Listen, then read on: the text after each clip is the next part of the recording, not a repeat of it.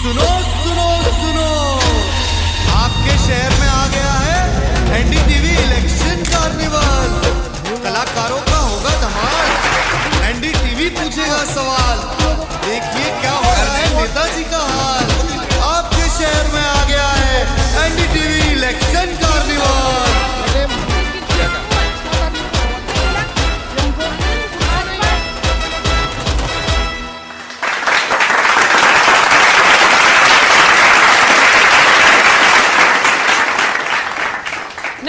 आदाब, मैं हूँ मारिया शकील। चार हज़ार पाँच सौ किलोमीटर का फासला तय करके अब हमारा इलेक्शन कार्निवाल पहुँच चुका है इंडियाज मिल्क कैपिटल में। ये मिल्क कैपिटल है आनंद। और इस शहर की खासियत ये भी है कि यहाँ दूध के बारे में तो चर्चा होती है, लेकिन पॉलिटिक्स पे बहुत चर्चा होती है। तो सबसे पहले रंगारंग कार्यक्रम होगा और ये बैठे हैं म्यूजिशियन जय पटेल। जय सात साल से आप ये गाना बजा रहे हैं? Yes, और क्या खासियत है इस म्यूज़िक की? सबसे पहले तो ये हमारा फोक सॉन्ग मैं जो गाता हूँ जो गुजरात को रिप्रेजेंट करता है। So I am proud to me कि मैं फोक सॉन्ग में गा रहा हूँ। प्राउड गुजराती हैं? यस एब्सोल्युटली यस और नौजवान भी हैं? अभी अठारह साल की हो गए हैं लेकिन फ़र्स्ट टाइम वोटर की कैटेगरी में अभी भी आप नहीं आए। Yes. अगले इलेक्शन में आइएगा। Yes. तो क्या मैसेज देने देना चाहेंगे फ़र्स्ट टाइम वोटर्स को? किस इशू पे वोट करना चाहिए उनको? मैं तो यही कहना चाहता हूँ कि जो अच्छा काम करते हैं एक ही बात है जो अच्छा काम करते हैं उनको वोट देना चाहिए। चलिए मंच आपका है आप शुरुआत करिए और उसके बाद हम पॉलिटिकल चर्चा की शुरुआत करें श्योर श्योर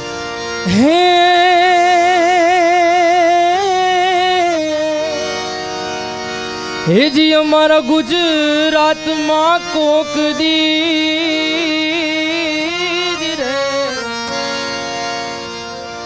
है जी भूलो ये पण भगवान। जी जी जी जी रे। रे तारा ये वा करु सन्मान रे। रे तन स्वर्ग रे रे तन स्वर्ग रे रे तन स्वर्ग रे। ભૂલાવું સાંભળા. આપણા ગુજરાતના માનવીઓ કેવા હોય છે એ કહેવું હોય ત્યારે? આપણા મલકના માયાડું માનવી.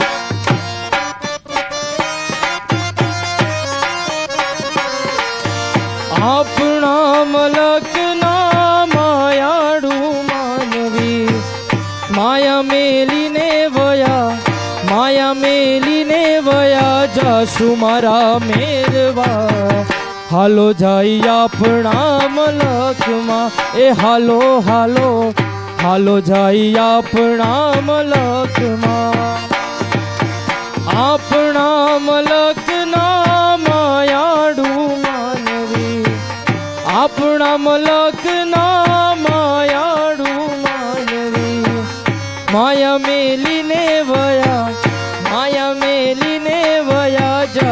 મારા મેરવા હાલો જાય આપણા મલકમાં. એ હાલો હાલો. હાલો જાય આપણા મલકમાં.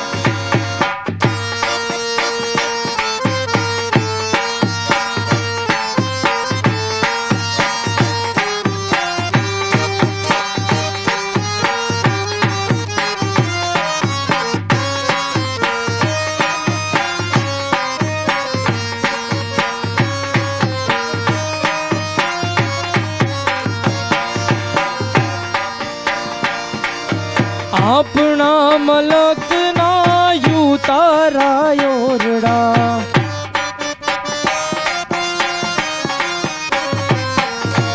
આપણા મલકના યુ તારા યોરડા ઉતારા કરી ઘોડે ઉતારા કરી ઘોડે ચડશું મારા મેરવા હાલો જાય આપણા મલકમાં એ હાલો હાલો હાલો જાય આપણા મલકમાં. આપણા મલકના માયાડું માનવી. આપણા મલકના માયાડું માનવી. માયા મેલીને વયા, માયા મેલીને વયા જાશું મારા મેરવા. હાલો જાય આપણા મલકમાં. એ હાલો હાલો હાલો જાય આપણા મલકમાં.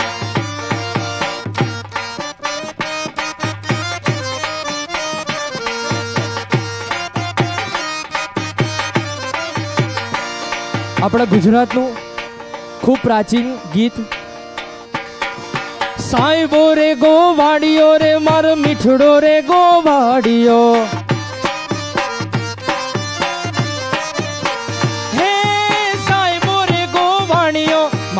छुड़ो रे गोवाड़ियो पूरे गोवालन गिरनी मारी साम्राधानी जोड़। ए हुरे गोवालन गिरनी मारी साम्राधानी जोड़ी।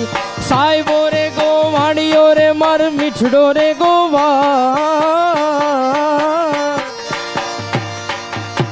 हे रे गोवाड़ियो मार मिठड़ो रे गोवाड़ियो હુરે ગોવાલણ ગીરની મારી સામરાધાની જોડલી એ હુરે ગોવાલણ ગીરની મારી સામરાધાની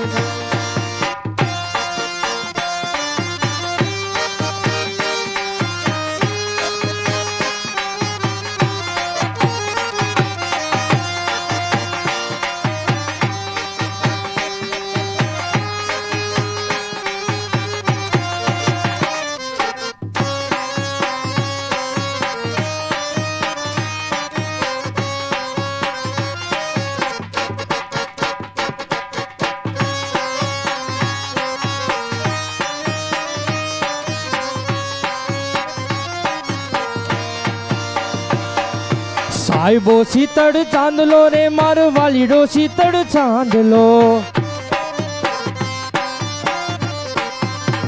હે સાહેબો શીતળ ચાંદલો મારો વાલીડો શીતળ ચાંદલો. હું ચકોરી વન રાવણની વાલીડા હારે રમતી. હું ચકોરી વન રાવણની વાલીડા હારે રમતી. સાહેબો રે ગોવાડિયો માર મીઠડો રે ગોવા.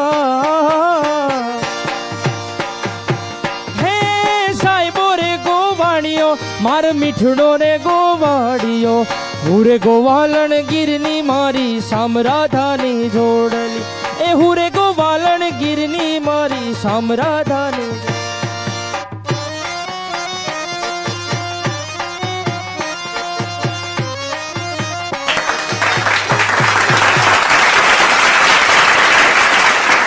जय बहुत बहुत धन्यवाद हमारा मंच सजाने के लिए और इस ऑडियंस से मैं एक सवाल पूछूँगी और सबसे पहले मैं जाऊँगी prime minister Modi look alike से। नमस्कार। कितने लोग कंफ्यूज होते हैं आपको देख करके और प्रधानमंत्री? बहुत। क्या बोलते हैं? बस मुझे देख के उन लोगों को मोदी साहब की याद आ जाती है और उसको ऐसा लग जाता है जैसे मेरे सामने साहब खड़े हैं। उसका अंदर से एक्सप्रेशन ऐसा होता है। वो फ़ोटो वोटो खिंचाते हैं बात करते हैं। तो यहाँ पर कितने लोगों ने फ़ोटो खिंचाया? ज़्यादातर आप ही पूछ लो ऑडियंस में। चलिए हम यहाँ पर महिलाएँ हैं पीछे बैठी हुई। मैं जरा सा उनसे बात करूँगी और उसके बाद फिर अ, डिबेट शुरू करते हैं। आप बताइए गुजरात के आनंद शहर में हम हैं। आनंद किस नाम से जाना जाता है? अमूल डेयरी के नाम से। और सरदार पटेल? पटेल। वल्लभ भाई सरदार पटेल के लोह पुरुष। हम्म। और अभी तो पूरा गुजरात बस नरेंद्र मोदी के अरे मोदी से मोदी जी मोदी जी है हमारे यहाँ तो। आप बताइए। मोदी जी ने बहुत अच्छा काम किया है और जिन लोगों के पास घर नहीं है उसका भी घर बना दिया है और हमारे यहाँ तो सब लोग मोदी जी मोदी जी मोदी जी करते रहते हैं। बहुत सारा काम बहुत सारा लोन भी देते हैं। आपके लिए लोकल कैंडिडेट कितना ज़रूरी है? मेरे लिए लोकल कैंडिडेट उतना ज़रूरी है जितना प्रधानमंत्री, क्योंकि हम अगर, हम प्रधानमंत्री को सीधा यूएस की तरह तो चुन नहीं सकते, इसलिए हम पहले हम अपना लोकल कैंडिडेट को चुनेंगे। और मेरा इस साल का, इस चुनाव का मुद्दा यही है इस साल मैं फ़र्स्ट टाइम वोट करूँगा तो मेरा यही मुद्दा है कि इधर लोकल इधर लोकल में एक सबसे बड़ा इश्यू है रोज़गार का। अगर पूरे देश की बात को मैं नहीं कर सकता बट मेरे यहाँ लोकल आनंद में जो है ना, वो आजकल युवा ऐसे बाहर जाने के लिए, विदेश जाने के लिए फॉरेन जाने के no of the study but बाहर जाने, कमाने के लिए वहाँ पे वहाँ पे रहने के लिए भी आजकल यहाँ से युवा आजकल बहुत जा रहे हैं। जैसे कि आजकल मैं यहाँ का सबसे बड़ा वो मुद्दा है क्योंकि आजकल डंकी जो अभी शाहरुख खान की एक पिक्चर आई थी डंकी उसमें जो बताया गया है वो पंजाब का मुद्दा सिर्फ़ नहीं वो गुजरात का आनंद का और अपने आनंद तो जो वो एजुकेशन हब है बट ये धीरे धीरे अब वो, क्या कहते हैं विदेशी लोगों का हब बन रहा है। यहाँ पे सबसे ज़्यादा एन है। वो वो गर्व की बाबत नहीं है। ये आपने बहुत इंपॉर्टेंट इशू उठाया है कि वो जो डंकी रूट है वो पंजाब के ही छात्र या युवा नहीं ले रहे गुजरात के भी ले रहे हैं। तो इसी पर हम सवाल पूछेंगे कांग्रेस और भाजपा दोनों से। तो मैं बोलूँगी हितेश पटेल जी को, जो भाजपा के स्पोक्स पर्सन हैं, वो आए हमारे साथ अब मंच पे चले। वीरेंद्र चावड़ा जी हैं कांग्रेस के और मनोज पटेल जी हैं, जो बिजनेसमैन हैं लोकल यहाँ के। आनंद को एक जमाने में कांग्रेस का स्ट्रांग होल्ड किया, कहा जाता था। लेकिन जब से भाजपा आई है तो उसके बाद उन्होंने कंप्लीट ग्रिप बना लिया है आनंद में। तो कैसे आपकी कब भूल हुई और उसके बाद आप सुधार क्यों नहीं कर पाए? देखिए, कांग्रेस, ये आनंद जिला है, बरसों बरस से ये कांग्रेस का अधिक गढ़ रहा है। और आज भी जब इलेक्शन हुआ था विधानसभा का तो दो एमएलए हमारे यहाँ चुन के आए थे और दूसरे जो भी कैंडिडेट थे, बहुत कम मार्जिन से हारे थे। और आखिरकार जो जनता जनार्दन का जो फैसला है हमको स्वीकार करना पड़ता है। आज जो हमारे यहाँ कैंडिडेट है अमित चावड़ा जी वो पूर्व प्रदेश अध्यक्ष भी रहे हैं आज सीएलपी लीडर भी है और स्वच्छ छवि के वो है वो खुद इंजीनियर है। और हम एक मैनुफेस्टो लेके आगे चल रहे हैं कि आनंद को नंबर वन कैसे बनाए। उसके लिए हमारे पास पूरी ब्लूप्रिंट है कि अगर हमारे कैंडिडेट जीते हैं इंडिया की सरकार बनती है तो हम रोज़गार के लिए क्या करेंगे? खेतीबाड़ी के लिए क्या करेंगे? युवाओं को सबसे बड़ा आनंद ज़िले का प्रश्न है रोजगारी का। उसके लिए क्या करेंगे? और हम पूरी ब्लूप्रिंट लेके आज आनंद ज़िले के पूरी जनता के पास जा रहे हैं और जनता का खूब उत्साह से हमारे साथ जुड़ रही है। पास तो ब्लूप्रिंट है। हितेश पटेल जी आपके पास क्या है? Bharatiya Janata Party 24 four by seven three sixty five पूरे दिन पार्टी के साथ चुनाव के सिवा भी पार्टी जनता के साथ कनेक्ट रहने के लिए अनेक प्रकल्पों के साथ काम करती है। महिरा जी, चुनाव के समय में लोगों के बीच जाना ये एक दूसरी बात है, अनेक और पार्टियों के लिए। हमारा कार्यकर्ता राउंड दी क्लॉक कनेक्ट रहता है। ये कोई पदयात्रियों की सेवा की बाबत रहती है, मेडिकल कैंप की बाबत रहती है, कोई ब्लड डोनेशन का रहता है। कभी कोई नेचुरल कैलेमिटी में लोगों की सेवा करनी है तो हम राउंड दी क्लॉक जनता के बीच में रहते हैं, हम पार्ट टाइप पॉलिटिक्स नहीं करते। और इसलिए कनेक्टिविटी हमारी जो जनता के साथ रहती है, हमारा तो जन्म, भारतीय जनता पार्टी का जन्म भी चलो जलाए दीप वहाँ जहाँ अभी भी अंधेरा है, उससे हुआ था। जहाँ नहीं पहुँचा है, वहाँ पहुँचाने की नेम आदरणीय नरेंद्र भाई मोदी जी ने रखी थी। और सब घर में अब चूल्हा जले, सब घर में गैस का कनेक्शन हो, सब घर में शौचालय हो, सब घर में पानी का कनेक्शन हो तो, तो आपने 10 साल में ये सब कर दिया क्योंकि 2014 से तो ये सीट आप लोग के पास है। नहीं ये जो केंद्र सरकार के करना था पिछले कई सालों से गुजरात में सरकार है लेकिन बहुत सारा काम केंद्र सरकार से होता था। और जब से ये सब लोगों के आशीर्वाद से केंद्र में भारतीय जनता पार्टी की सरकार बनी आदरणीय नरेंद्र भाई अमित भाई की जोड़ी ने जो काम किया है मैं बताऊँ अब तो प्रिंट मीडिया इलेक्ट्रॉनिक मीडिया से सब लोगों को पता चल गया है कि भारतीय जनता पार्टी ने अंत्योदय का जो मूल मंत्र था, वो साकार करने का काम किया है। और झुकवी झोपड़ी में अंतिम व्यक्ति के जीवन में उजास आए, इसलिए काम किया है। और प्रमाण ये हुआ है कि 25 करोड़ लोगों को गरीबी की रेखा से ऊपर उठाया है। और ग्यारहवा नंबर की इकोनॉमी आज पांचवा नंबर पे ठहरी है। तो मैं आप सब लोगों को वादा करता हूँ। उससे आनंद के लोगों की ज़िंदगी में क्या फ़र्क पड़ा यही मेरा सवाल है। मैं जनता के पास फिर से आऊँगी लेकिन उससे पहले मैं सर आपसे पूछूँगी मनोज पटेल जी आ, दस साल से यहाँ के सांसद जो हैं वो भाजपा के हैं। आ, पूरे गुजरात में 26 लोकसभा कॉन्स्टिट्युएंसीज है 26 की 26 भाजपा के पास है। उससे पहले आनंद से कांग्रेस के सांसद थे। 2014 से पहले से। आप इतने साल से देख रहे हैं, यहाँ पर भाजपा 30 करीब 20 साल से ऊपर से शासन भी कर रही है। तो आपने क्या फ़र्क देखा है? हम ऐसा देखते हैं कि मैं तो इंडस्ट्री से आ रहा हूँ। तो जैसे उद्योगों का विकास कौन पार्टी कर रही है, वही हम पहले देखते हैं। औद्योगिक शांति भी इतनी ज़रूरी है कि जो पहले इतनी स्ट्राइक होती थी, इतनी धमाल होती थी ये शायद 20-25 साल से नहीं देखने को मिलती है। तो हमारा हमारा सपोर्ट तो वही पार्टी को रहता है कि जो औद्योगिक शांति मनाए रखे, जड़ाए रखे और उद्योग उद्योग के लिए वो क्या कर रहे हैं, वो हमारे लिए बहुत ज़रूरी है। तो पिछले 20 साल से उद्योगों के लिए सरकार ने बहुत अच्छा काम किया है और वो आप देख सकते हैं कि तो गुजरात कहाँ पे है आज। जिस ब्लूप्रिंट की चर्चा ये कर रहे हैं तो वो ब्लूप्रिंट आपको नहीं दिखता। नहीं बीस बीस साल से तो उनकी ब्लूप्रिंट आई नहीं है नहीं, जो बीस साल से तो नहीं है वो बोल रहे हैं कि कांग्रेस ने नई ब्लूप्रिंट बनाई है। जो 20 साल पहले हम ऐसा नहीं है कि कांग्रेस को वो नहीं मानते हैं। 20 साल पहले उनका शासन था। तो हम कंपेयर करते हैं कि कैसे उद्योग पहले चलता था कैसे अब चल रहा है। तो औद्योगिक विकास जो है वो तो सबको दिखाई दे रहा है अभी। हम्म, तो इस तरह का जो आपको जब सवाल उठते हैं कि आपने इंडस्ट्री के लिए क्या किया यूथ के लिए क्या किया तो शायद कांग्रेस के पास जवाब नहीं है? बिल्कुल जवाब है। पहले मैं इनसे पूछना चाहता हूँ कि यहाँ जो एक ही जीआईडीसी है वल्लभ विद्यानगर वो कांग्रेस के समय में बनी थी। पूछ लीजिए आप आनंद ज़िले में किसी को भी पूछना है। इसके बाद एक भी इंडस्ट्रीज़ या एक भी जीआईडीसी नई आनंद ज़िले में नहीं बनी। दूसरी बड़ी बात। उसका जवाब वो देना चाह रहे पहले जरा सुन लेते फिर हम आपके पास वापस आएँगे। अब जीआईडीसी की जो बात करें तो पहले अकेली जीआईडीसी उद्योग दे रही थी। अभी वो स्कैटर हो गया सब अलग अलग क्षेत्रों में हो गया है। ऐसा नहीं है कि अभी जीआईडीसी में ही जाना पड़ता है। आ, आ, पहले क्या था कि पावर किसी एक एरिया को मिलता था। जीआईडीसी को ही पावर मिली। जीआईडीसी कितनी बनी अभी- ये बता दीजिए अभी अभी ऐसा नहीं है 20 साल से ऐसा नहीं है कि पावर अकेला जीआईडीसी में मिले। अभी किसी भी जगह आप इंडस्ट्री डालो वहीं पावर मिलता है। तो ऐसी ज़रूरी नहीं है कि आप जीआईडीसी में ही जाना है। पिछले दस साल से जुमलाबाजी चल रही है बिल्कुल।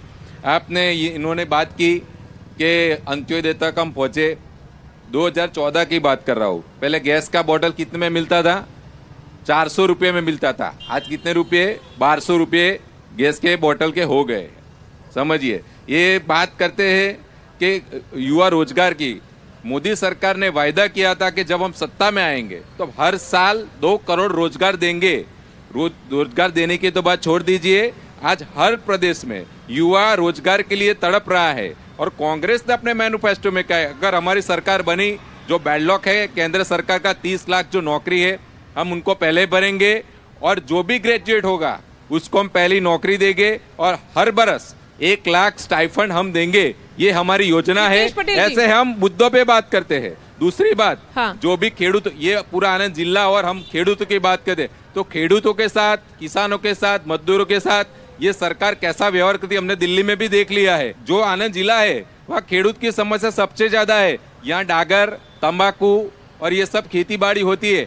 आज तक गुजरात सरकार ने जो टेके का भाव बोलते हैं मिनिमम सपोर्ट प्राइस वो आज तक वो नहीं दे पाए।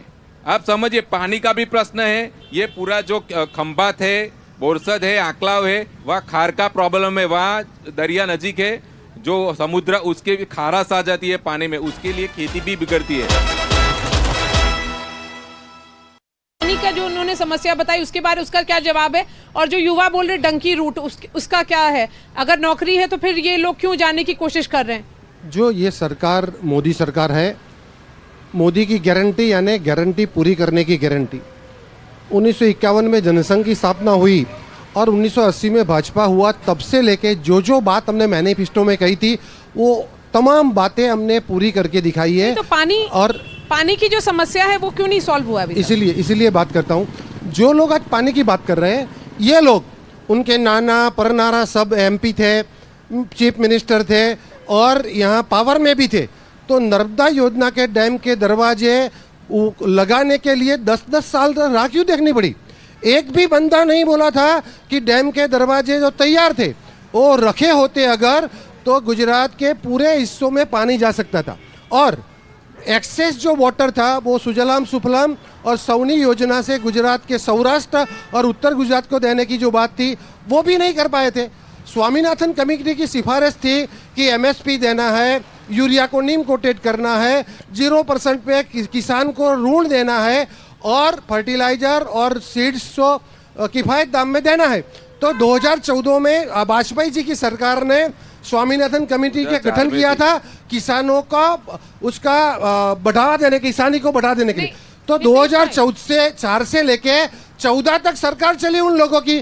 तो सिफारिश नहीं मनमोहन जी ने सरकार ने वो रिपोर्ट में तो ऑफ़िस में रखा था रिपोर्ट देखा ही नहीं। फिर 2014 में जब आप आए तो आपने क्या किया? जब से नरेंद्र भाई आए सत्रहवें दिन में डैम का दरवाज़ा बंद करने की मंजूरी कर दी तो सौनी में पानी चला गया 160 डैम सौराष्ट्र के भरे सुजलाम सुफलाम में पानी गया बनासकाठा में गया पंचमाल गया कच्छ में गया।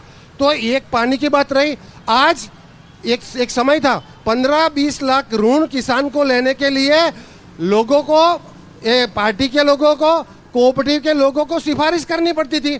बीस हज़ार देते थे दो हज़ार तो सेक्रेटरी चेयरमैन सरपंच ले जाते थे। आज नरेंद्र मोदी सरकार आई तीन लाख तक का ऋण। किसी भी इंटरेस्ट के बिना ज़ीरो टका इंटरेस्ट पे अपने आप को सम्मान पूर्वक मिल रहा है। चलिए मैं युवा से अब ड्रिप पूछूँगी, इरिगेशन की बात करें या सौर ऊर्जा की बात करें सौर जैसा शब्द नहीं था बिजली आती थी तो आप न्यूज़ ये बन बताइए जाते थे आपने गुजरात में डैम कितने बनाए? जो कांग्रेस के समय में गुजरात में जो डैम बने थे उसके हाँ। बाद भाजपा ने कितने डैम बनाए ये बता दिए। डैम बनाए थे डैम में पानी कितने बनाए बताइए कितने बताइए बताइए एक भी डैम आपके समय में नहीं बना। वो सब गुजरात की सरकार पंद्रह बीस हज़ार करोड़ के खर्चे से सौनी डाली आपने तो और दो हज़ार। फुट ऊपर दो हज़ार फीट ऊपर दो। हज़ार हॉर्स पावर की मोटर लगा ये के ढाकी से जर्दा का पानी कांग्रेस के समय में बना। काम का ब्यौरा दे रहा है तो उसके पहले सवाल कांग्रेस उससे पहले थी। तो सवाल तो दोनों से उठेगा। तो क्या ये सही है कि जो करंट गवर्नमेंट है वो बार बार कांग्रेस ने जो नहीं किया वो गिनाती ज़्यादा है। वो पीछे काम हुआ नहीं है। अभी का जो governance it's very good governance और काम बहुत स्पीडी से और अच्छी अच्छी डायरेक्शन में जा रहा है। सही डायरेक्शन Yes. जा रहा है। आप मानते हैं आपको विश्वास है कि जो उन्होंने कहा वो सही है? Yes yes, yes yes, yes. Sir आप भी कुछ बोलना चाह रहे हैं? मैं तो इंडस्ट्रियलिस्ट हूँ। मैं यही कहूँगा कि मोदी जी आने के बाद जो अपना इंडिया का जो नाम हुआ है वर्ल्ड वाइड वो बहुत अच्छा हुआ है। आपका मोदी जी को रसिया भी याद करते हैं अमेरिका भी याद करते हैं। कभी भी लाइट बंद हो जाती कभी स्टैगरिंग हो जाती। जब से मोदी जी आए तब से इलेक्ट्रिसिटी का एकदम प्रॉब्लम सॉल्व हो गया। तो तीन तीन दिन स्टेगरिंग रहता था पहले। यहाँ पर कांग्रेस के प्रवक्ता बोल रहे हैं ज़्यादातर लोग उनसे अग्री नहीं करते अच्छा कांग्रेस नहीं जब पहले कांग्रेस थी तो इन इन्हीं से से ये जो बोल रहे हैं सर जो बोल रहे हैं इंडस्ट्री के चर उन्हीं के पापा वोट डालते होंगे कांग्रेस में है ना? तो उस टाइम कांग्रेस अच्छी थी, और अभी खराब लग रही है उनको कांग्रेस। कांग्रेस ने कुछ काम ही नहीं किया सेवेंटी ईयर्स में कांग्रेस ने कुछ काम ही नहीं किया। जब कांग्रेस ने मनमोहन सिंह ने जब आधार कार्ड लॉन्च किया था, तब बाब यही नरेंद्र मोदी जी ने विरोध किया था। इतना हंगामा मंगाया, मचा दिया था, इतना हंगामा मचा दिया था। फिर वो ठंडा हो गया, और फिर जब भाजपा आई तो एक्सेप्ट कर लिया। इनका कहना है कि कुछ तो किया होगा, ठीक। कांग्रेस ने सत्तर साल में मानते हैं कि आपने उन्होंने कुछ नहीं नहीं जो किया होगा लेकिन it is not that much effective which gives result to the root person root person तक उसका कुछ लाभ मिलता नहीं था उसका। वो मानते ही नहीं है कि ग्राउंड पर उतना इम्पैक्ट नहीं होता था जो भी कांग्रेस करती। मैं मैडम ये मानता हूँ कि भक्ति करो ठीक है अंधभक्ति मत करो है ना? भक्ति ठीक है अंधभक्ति अच्छी नहीं है क्योंकि ये देश के लिए भी अच्छी नहीं है। मैम कुछ बोलना चाह रही जी मैम सर बोल रहे हैं कि पहले कांग्रेस अच्छी लगती थी अब नहीं अच्छी लगती है। अभी तो सबको राहुल जी को देख के डर लगता है कि यदि ये प्रधानमंत्री बन जाएँगे तो देश का क्या होगा? तो ये बात है कि अभी क्यों अच्छी नहीं लगती है कांग्रेस? अभी क्यों नहीं अच्छी लगती है? अगर इनको कांग्रेस अच्छी नहीं लगती है तो अभी क्यों नहीं अच्छी लगती है? देखो ये इनका नज़रिया है। ये जो कि इंडस्ट्रियल लोग हैं उनको कांग्रेस के टाइम में ही जीआईडीसी में जमीनें मिली है। और इस बार जनता जनार्दन 2024 के चुनाव में दिखाएँगी। तो मैम ये मानते हैं कि जनता इस बार कुछ और करेगी। आप यहाँ से ही देख लीजिए मैक्सिमम लोग राहुल जी की तरफ़ जाएँगे या मोदी जी की तरफ़ जाएँगे आप ही सोच लीजिए। लोकल कैंडिडेट की चर्चा कोई नहीं करेगा। आ? जिन भारतीय जनता पार्टी को महिलाओं की इज़्ज़त करना ना आता हो उनके एमपी को ना आता हो इस बार भाजपा को वोट नहीं मिलेगा। ये बोलते हैं कि भाई, भाजपा को महिलाओं की इज़्ज़त करना नहीं। बहुत सम्मान देते हैं नारी शक्ति का बहुत उजागर किया उन्होंने उन्होंने बहुत लाभ दिया उन्हें। ना नारी शक्ति में तो वो होता है कि नारी जो चाहे कर सकती है और मोदी जी ने तो वीडो का वीडो का पेंशन भी दिया है और वृद्ध वृद्ध लोगों को भी दिया है। महिला की जो बात हो रही है मैडम अभी जो कुछ चल रहा है ना, वो सब स्क्रिप्टेड है।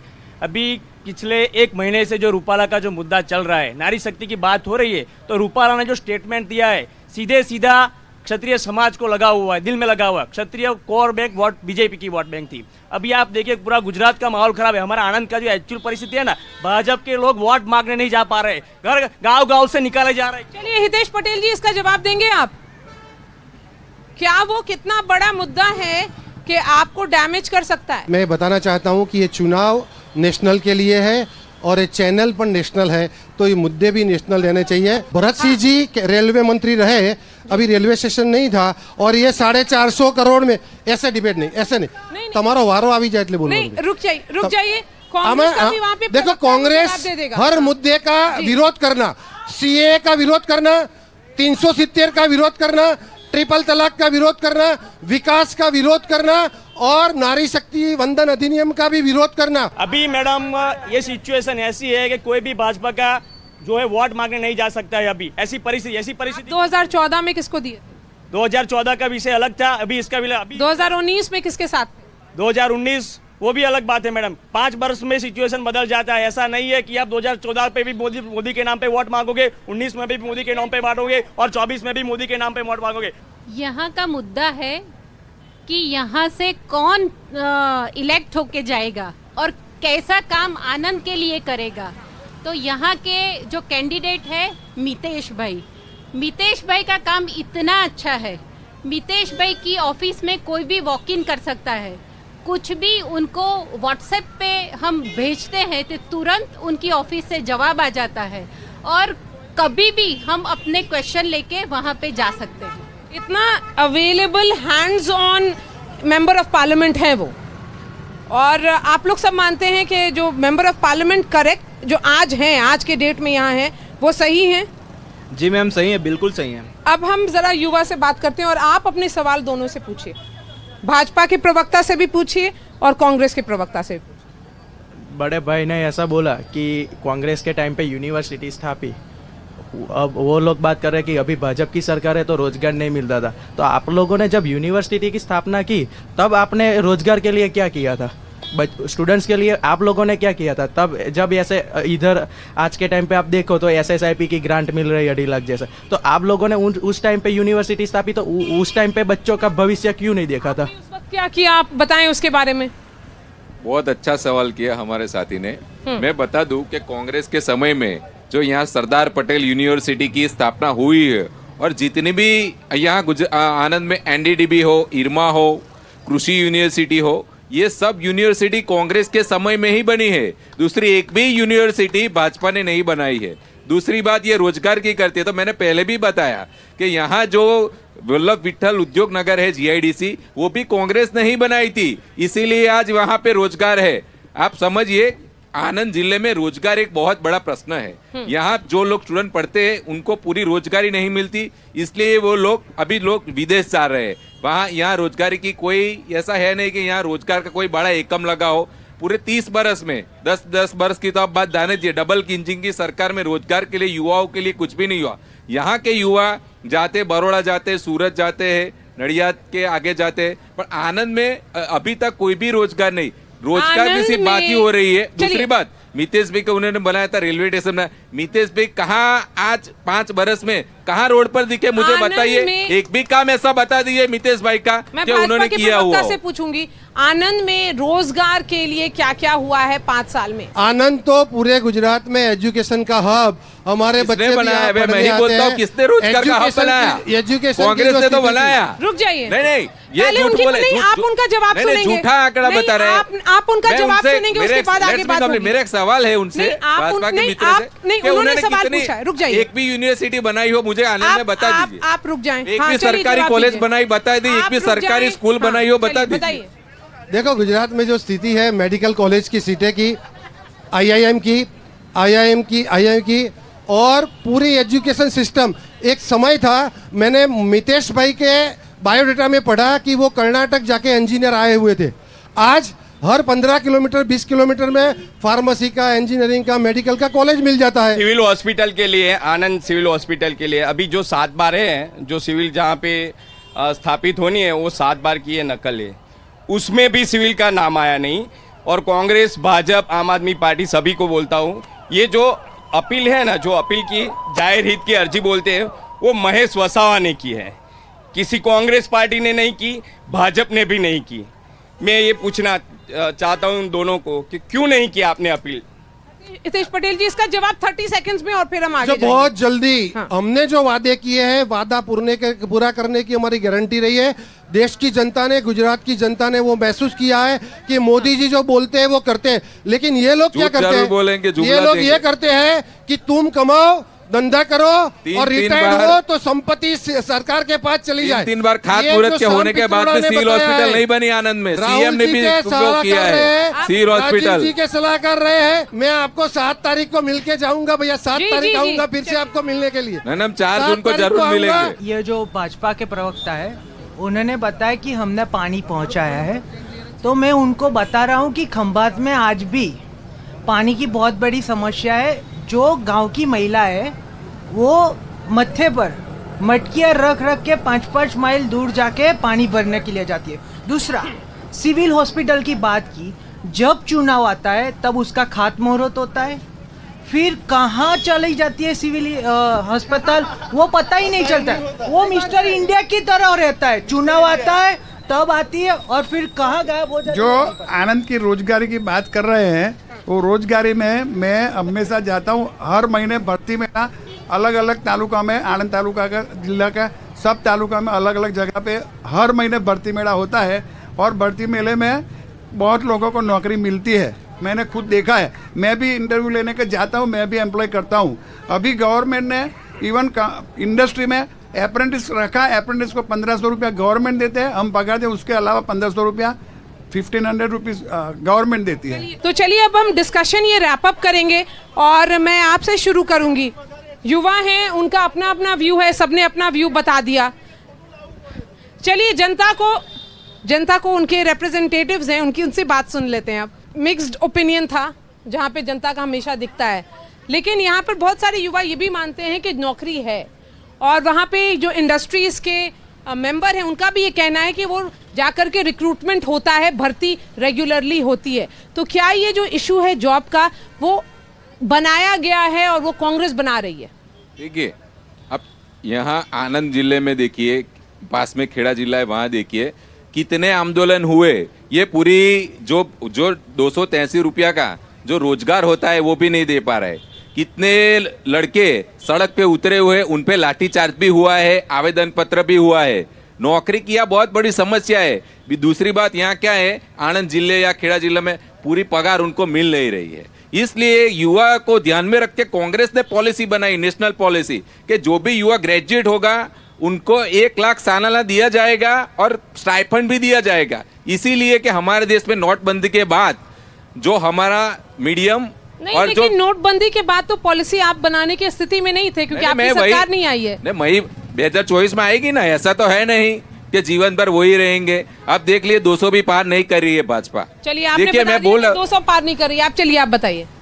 देश की जनता तय करेगी दस साल में हमने जो जवाबदेही बताई है और जो जो वादे किए थे ये नेशनल सिक्योरिटी के थे हमारी जो सांस्कृतिक विरासत है उसको उजागर करने के लिए हमारा 500 साल से जो हर हिंदू प्रार्थना करता था कि हमारे भगवान राम लल्ला जो टेंट में विराजमान है उसका निज मंदिर बने और इसका पुनः प्रतिष्ठा हो वो भी काम हो गया है। मुद्दे कश्मीर पे बात कीजिए मुद्दे पे। चलिए अब हम ये डिस्कशन का एंड करेंगे और मनोज जी आपके पास आएँगे।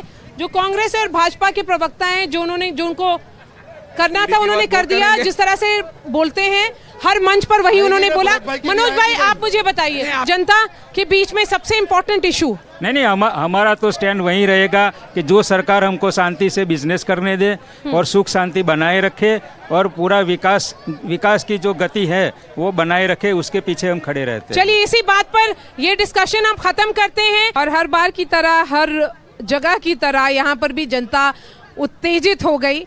लेकिन जो भी आपकी उत्तेजना है, जो भी आपकी ख्वाहिश है, वो आप अपने मत के थ्रू दिखा सकते हैं और बता सकते हैं।